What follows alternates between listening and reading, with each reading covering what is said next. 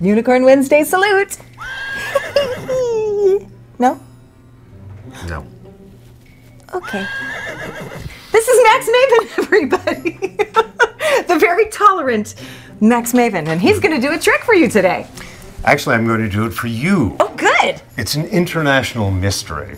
The game involves simple designs, but you have to guess what country each represents. Okay. So we start with a stylized maple leaf. Canada, Very good. Now this one we go sideways. It's two pyramids. Egypt, You're batting a thousand.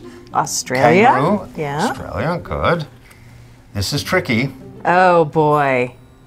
Um, I want to say Dutch, but that's Well- not the country, though. Denmark. No, no, No?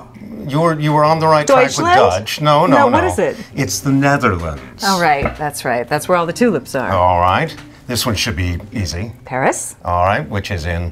Oh, uh, France. We're going for countries. Sorry. and finally, finally, Uh, India. no, Oh, almost, but these bulbs kind of uh, and the little crosses indicate that we're not in India. This is St. Basil's in Ah. Red Square in Moscow in, in, Russia. Russia. Okay, so that was very good. That took, was not took good you a all. moment or two to get there, but sure did. But all right. Aye, So aye. We've got these different countries. We're going to play a little international game with an intriguing result. Cool. All right. Take your forefinger and touch one of the uh, one of the one of the countries. One of them. Pull it toward you. Touch another one.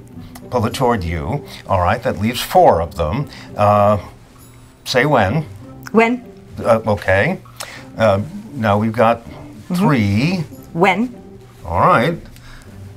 We're down to 2 Mm-hmm. Do you have a preference for either one? I do. I like this one All since I had such a hard time with it. So, Thank with you. all of that, we've wound up in France. France. And believe it or not, I knew that we would be going to France.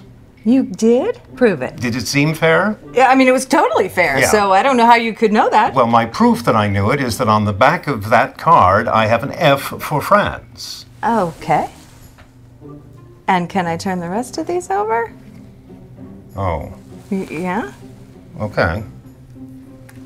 Well, yeah, that's Russia and uh, Australia. Stop it. Are you going to spell Netherlands, France? Canada, and yeah, I get. I think this worked. That scares me because you probably know what I'm thinking right now, too. I'm thinking we we managed to hit this in time. we did.